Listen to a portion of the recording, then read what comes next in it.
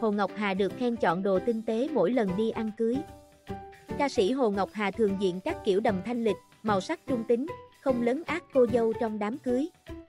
Trong đám cưới của bạn thân Thanh Hằng hôm 22 tháng 10, Hồ Ngọc Hà diện trang phục màu pastel đến tham dự, theo dress cô cô dâu đưa ra. Trang phục có tông màu hồng vỏ đổ, giúp cô tạo vẻ nổi bật nhưng không lấn át cô dâu khi đứng cạnh.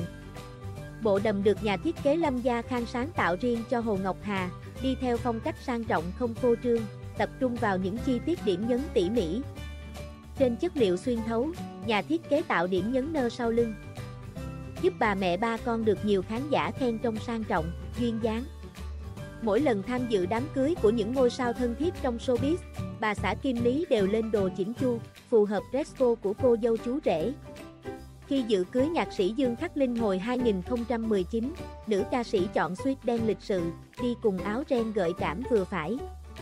Theo Hồ Ngọc Hà, cô không bao giờ mặc màu trắng khi đi cưới vì chắc chắn không xinh được bằng cô dâu.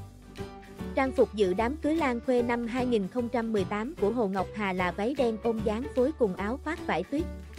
Để tạo điểm nhấn cho trang phục màu tối, nữ ca sĩ chọn son tông đỏ nổi bật. Hồ Ngọc Hà cho biết cô mất nhiều công sức để lên đồ đi đám cưới Trấn Thành, Harry Quân hồi 2016. Lựa chọn của người đẹp là váy đen kín đáo của Louis Vuitton, phối cùng túi sách nồ, giúp cô giữ được vẻ sang chảnh nhưng đủ lịch sự. Các bạn hãy đăng ký kênh để cập nhật thông tin miễn phí mới nhất.